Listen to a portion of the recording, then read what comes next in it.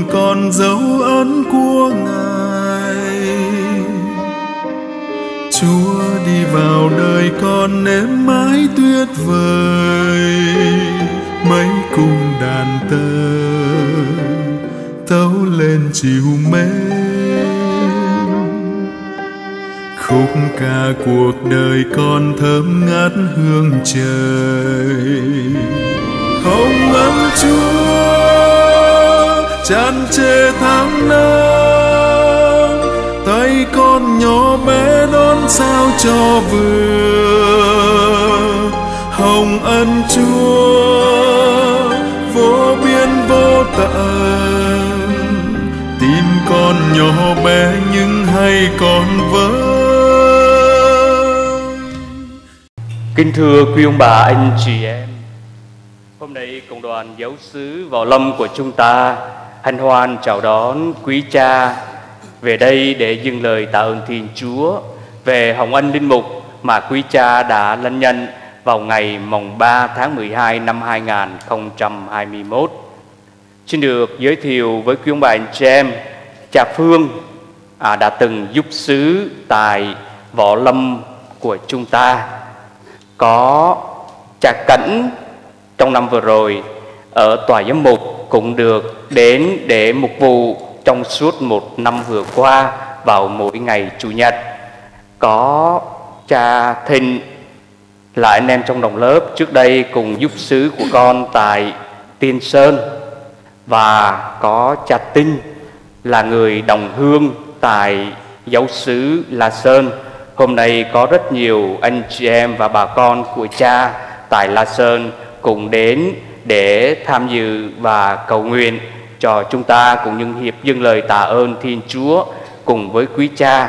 Và phía bên kia là cha trường bạn học cùng lớp hiện tại đang là chân sứ tại giáo sứ Mẫu Tâm. Chúng ta cho một tràng pháo tay để chúng ta chúc mừng và chào đón quý cha. Nhân danh cha và con và thánh thần Nguyện xin ơn sùng đương Giêsu Kitô Chúa chúng ta, tình yêu của Chúa Cha và ơn thông hiệp của Chúa Thánh Thần ở cùng tất cả anh chị em và ở cùng cha. Quý ông bà và anh chị em thân mến, hôm nay chúng con tề tự về đây để xin quý ông bà và anh chị em cùng chung lời tạ ơn với chúng con trong hùng ân linh mục chúng con vừa lãnh nhận. Chúng con nhân đây cũng nói lời tri ân đến cha chánh xứ, đến cộng đoàn giáo xứ đã hết lòng nâng đỡ chúng con bằng lời cầu nguyện, bằng những sự giúp đỡ trong những tháng ngày chúng con thực tập. Xin một lần nữa, xin quý ông bà và anh chị em hiệp ý với chúng con trong thánh lễ này để cầu nguyện bình an cho giáo xứ và để chúng ta hãy nhìn nhận tội lỗi chúng ta để xứng đáng cử hành mầu nhiệm thánh. Chúng ta dâng lời cầu nguyện. Lạy Chúa, Chúa không hề kém kinh từ tâm.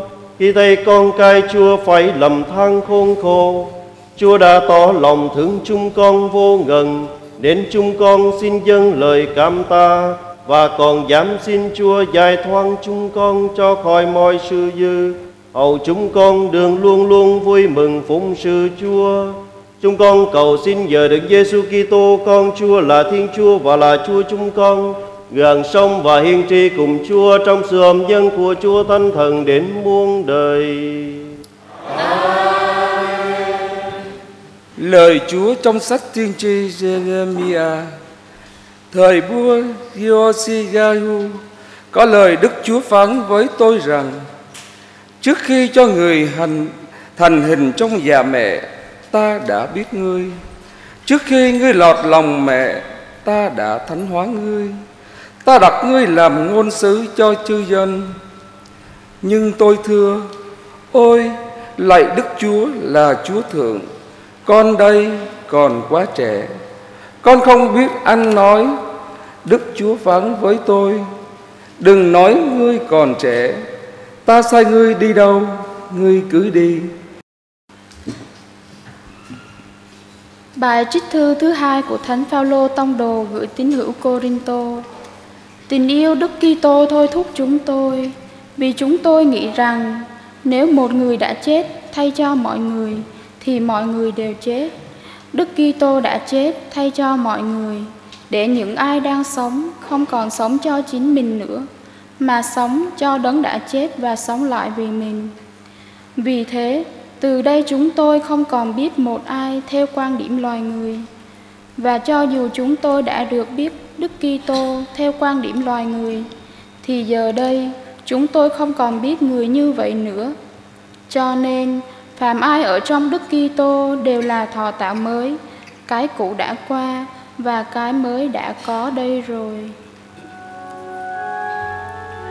Đó là lời Chúa.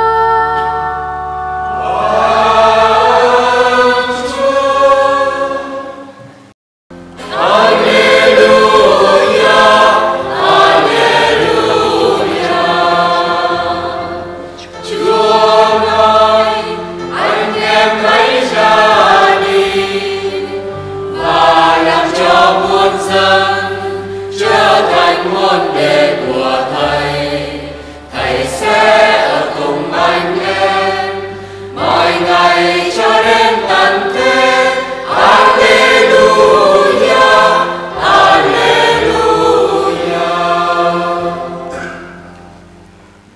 ở cùng anh chị em.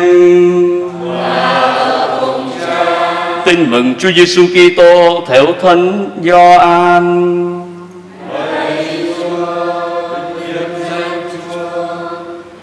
Chúa Cha đã yêu mến Thầy thế nào, Thầy cũng yêu mến anh em như vậy. Anh em hãy ở lại trong tình thương của Thầy. Nếu anh em giữ các điều răn của Thầy, anh em sẽ ở lại trong tình thương của Thầy, như Thầy đã giữ các điều răn của cha Thầy và ở lại trong tình thương của người. Các điều ấy Thầy đã nói với anh em để anh em được hưởng niềm vui của Thầy và niềm vui của anh em được nên tròn vẹn. Đó là lời Chúa.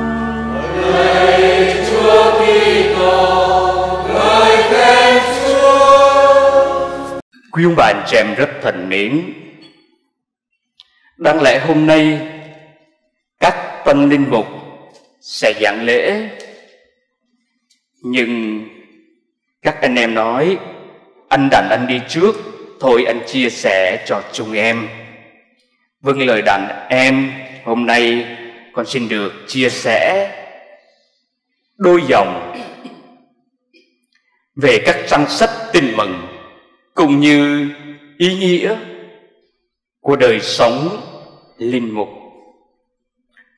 Quý ông bà anh chị em rất thân mến, trong bài đọc thứ nhất trích sách ngôn sứ Jeremia, chúng ta thấy Đức Chúa là Thiên Chúa đã gọi ngôn sứ Jeremia trở thành ngôn sứ của người. Quả thực, trước khi cho ngươi thần hình trong già mẹ, ta đã biết ngươi, ta đã biết ngươi. Và trước khi lọt lòng mẹ, ta đã thánh hóa ngươi, ta đã thánh hóa ngươi. Ta đã đặt ngươi làm ngôn sứ cho chư dân. Như thế, thiên chúa ngài đã biết con người mà ngài muốn tròn gọi và một khi Ngài đã chọn gọi Thì Ngài thánh hóa Ngài thánh hóa, người Ngài chọn gọi Và Ngài sai đi làm ngôn sứ cho Ngài Chúng ta được mời gọi lắng nghe trong bài đọc thứ hai, Trích thư của Thánh Phaolô Tông Đồ gửi cho tín hữu Corinto. Có thể nói rằng đây cũng là kim chỉ nam cho đời sống linh mục. Tình yêu Đức Kitô thúc bất chung tội và quả thực, chỉ có trong tình yêu của thiên chúa mới là cái động lực để thúc bất người môn đề của chúa dẫn thân cho sứ mạng tình yêu trong việc loan báo tin mừng cho anh em hình ảnh thứ ba, mời gọi chúng ta lắng động ngang qua trang sách tin mừng mà thánh sứ Gioan thuật lại cho chúng ta hôm nay. Chúa Cha đã yêu mến thầy thế nào, thầy cũng yêu mến anh em như vậy. Anh em hãy ở lại trong tình thương của thầy.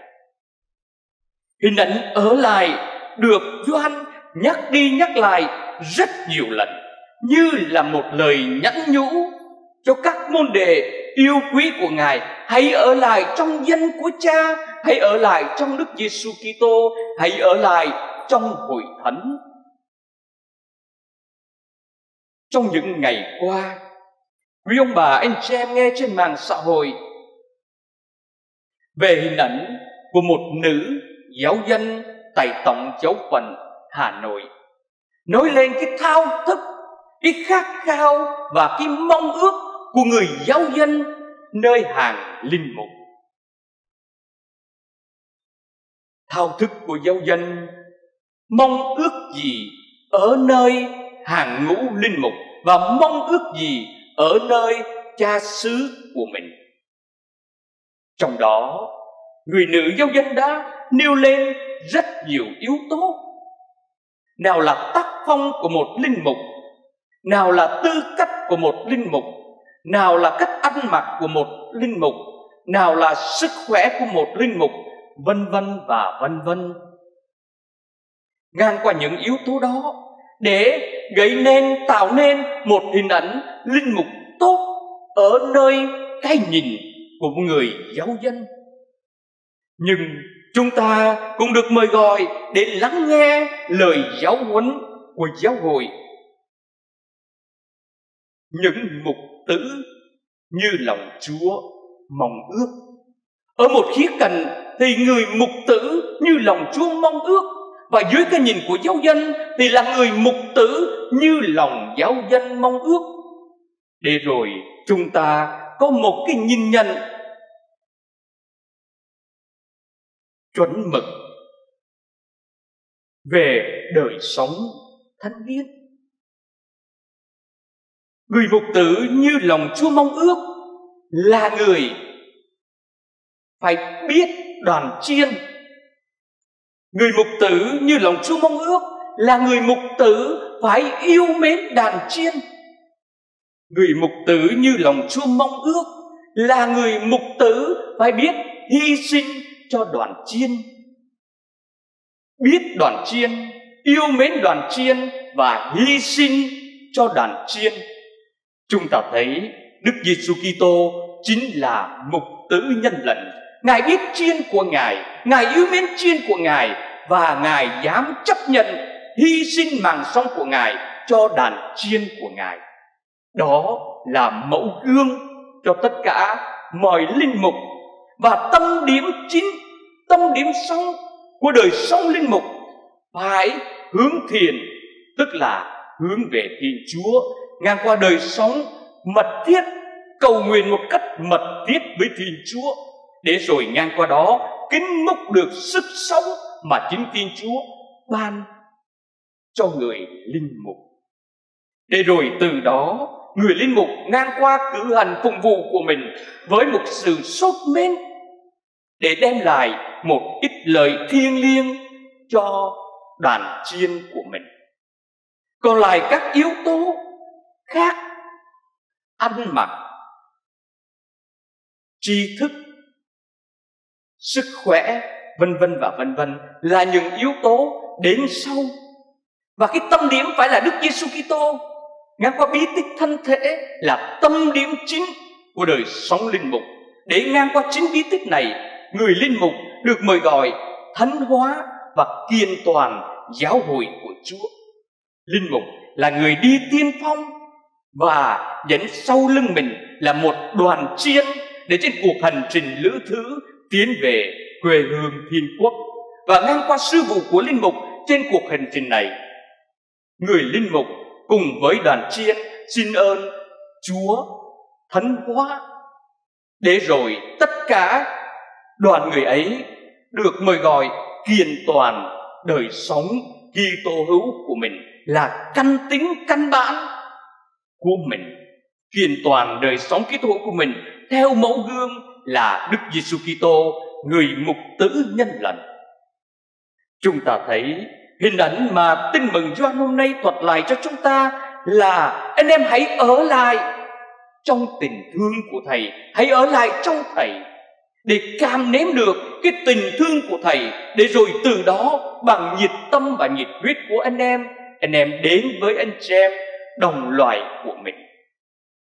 Chúa mời gọi chúng ta ở lại, nhưng mà chúng ta lại muốn ra đi hơn là chúng ta ở lại. Không chỉ trong đời sống linh mục, nhưng ngay cả trong đời sống gia đình của quý ông bà, anh chị em, chúng ta muốn đi ra ngoài hơn là chúng ta muốn ở lại trong tình thương của Chúa. Ơn của Chúa ban cho chúng ta, mà chúng ta quên đi, và chúng ta không muốn ở lại trong ân sủng đó, mà chúng ta đang đi tìm kiếm một cái gì đó khác ngoài ân sủng của Chúa hạnh phúc Chúa đã ban cho chúng ta mà chúng ta không biết giữ gìn chúng ta lại muốn đi ra ngoài để tìm một cái gì đó khác ngoài hạnh phúc mà Chúa đã ban cho chúng ta. Vậy thì, ngang qua sứ điệp tin mừng hôm nay, mời gọi mọi người chúng ta hãy biết lắng đồng tâm hồn, hãy biết hồi tâm, hãy biết tin dứt để chúng ta được sống và ở lại trong ân sủng và tình thương của Ngài. Amen. Chúng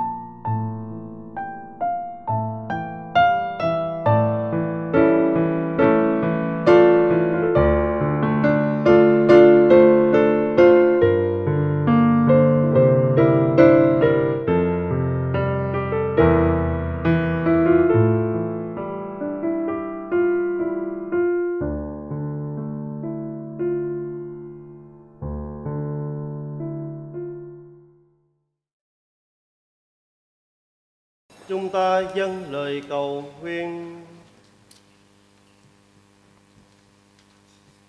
Lạy Thiên Chúa là nguồn sư sống, Chúa ban ban trường sinh để giải thoát chúng con khỏi tội lỗi và tăng cường sinh lực cho chúng con. Ương gì chúng con luôn đường Chúa hướng dẫn cho đến khi đang tới quê trời như lòng hàng bóng mương.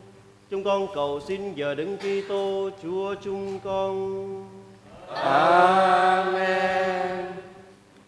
Xin mời quý cha an tòa, xin mời quý ông bà anh chị em chúng ta an tòa. Trước khi kết thúc thân lễ, à, xin được thay mặt cho giáo sứ gửi đến quý cha lời chúc mừng về hồng ân linh mục mà Chúa đã thương ban cho quý cha trước đây khi mình sống chung với nhau thì cha với thầy bây giờ thì cha với cha mỗi người chúa ban cho một đặc ân khác nhau. Mỗi người chúa ban cho một thế mạnh khác nhau. Nhưng bên cạnh đó, chúng ta cũng có những cái yếu đuối. Chúng ta cũng có những cái chưa phải là hoàn thiện. Chúng ta cần đến sự nâng đỡ của cộng đoàn, cũng như ơn của Chúa ban cho chúng ta. Năm nay bởi vì tình hình dịch bệnh lan tràn Quý cha ở đây chưa ai được về quê hương của mình để dâng lời tạ ơn cùng với cha mẹ, với anh chị em. Có những anh em đã chịu chức linh mục rồi đức cha cho nghĩ trong một thời gian nhưng quả thực không biết làm gì. Bởi vì về quê hương thì không được, nơi này nơi khác thì không có thánh lễ đó là những lúc anh em cảm thấy cái sự cô đơn và trống vắng trong những ngày đầu đời của linh mục. Nhưng có một điều chắc chắn rằng trong anh em luôn được ấm lòng và luôn được trái tim yêu thương của Chúa Giêsu sưởi ấm và hạnh phúc bên Ngài ngang qua những thánh lễ rất âm thầm, rất lặng lẽ. Và trong sâu lắng của sự âm thầm và lặng lẽ đó, anh em cũng đã dâng lên cho Thiên Chúa, chính gia đình, chính những người thân yêu của mình. Và cái sự hạnh phúc cũng như sự ấm áp của tình Chúa nơi anh em luôn được trải dài. Ước mong rằng sự ở lại trong giáo hội, ở lại trong tình Chúa của anh em và Chúa cũng sẽ ở lại trong anh em như ngày đầu tiên anh em lãnh nhận thừa tác vụ linh mục của mình. Chúc tất cả anh em luôn sống trong ân sủng, trong tình yêu và hạnh phúc trong đời sống linh mục của mình ngang qua sứ vụ mà giáo hội đã trao phó cho anh em. Chúc tâm lòng của giáo sứ gửi đến anh em.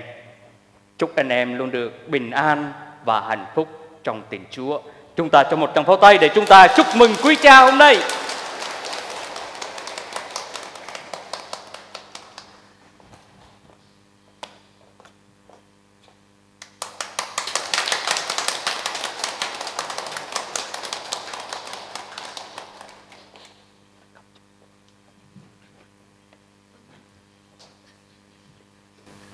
Còn à, xin kính mời cha an toàn. Ngồi lại. À. Kính thưa cha, con xin thay mặt cho bốn anh em, ba anh em còn lại cũng như là những anh em mà không có cơ hội hiện diện trong ngày hôm nay để nói lên lời lòng tri ân của chúng con trước hết đối với cha chánh xứ và đến với cộng đoàn giáo sứ Võ Lâm. Kính thưa cha, trong tư cách là một trưởng ban truyền thông của giáo phận.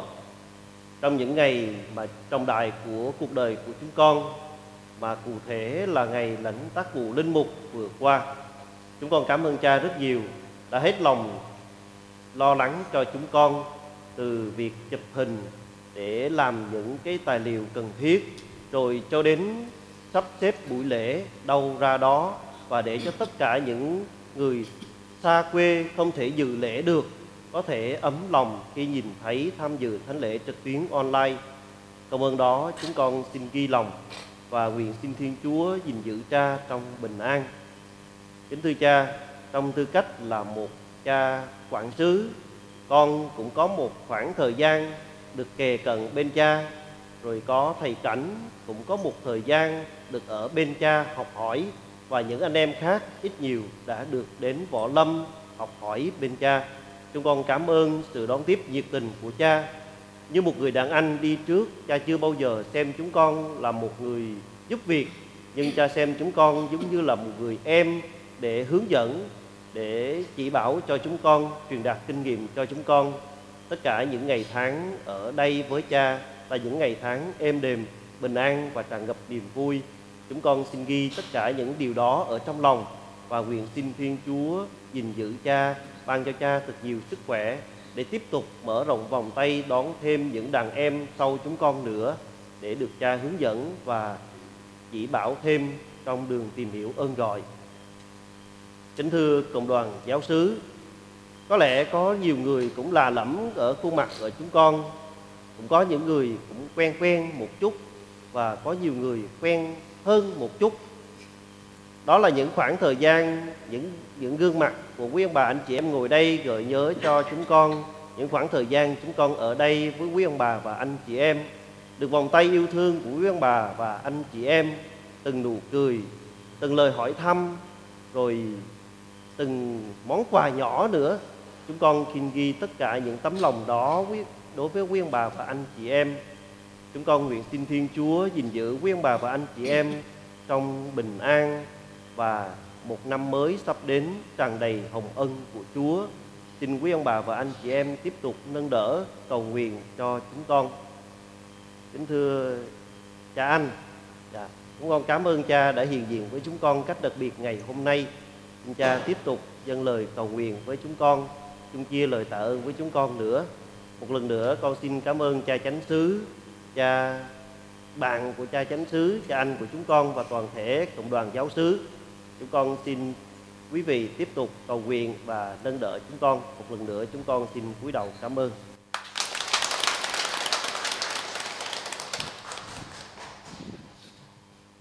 Giờ đây xin cộng đoàn đứng lên để chúng ta cùng lãnh phát phép lành của Chúa.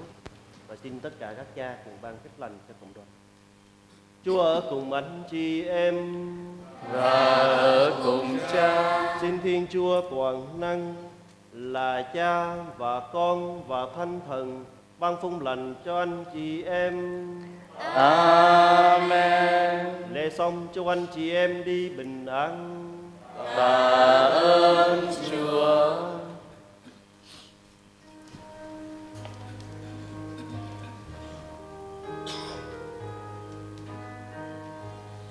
Biết lấy gì cảm mến biển lấy chi.